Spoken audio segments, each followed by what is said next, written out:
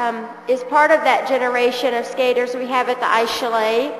She is Jim Hickman's daughter, and she now has her own son who will probably skate one day also. Please welcome Rae Ann McCurry.